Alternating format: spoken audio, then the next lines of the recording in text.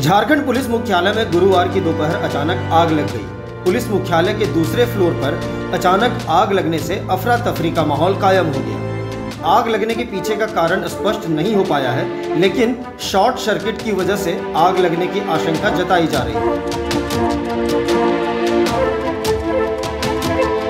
आग की वजह से दूसरे फ्लोर पर पूरा धुआँ भर गया। पुलिस मुख्यालय में मौजूद कर्मियों के द्वारा आग पर काबू पाया गया। आग की वजह से किस किस चीज़ का नुकसान हुआ है, इसका पता आकलन के बाद ही चलेगा।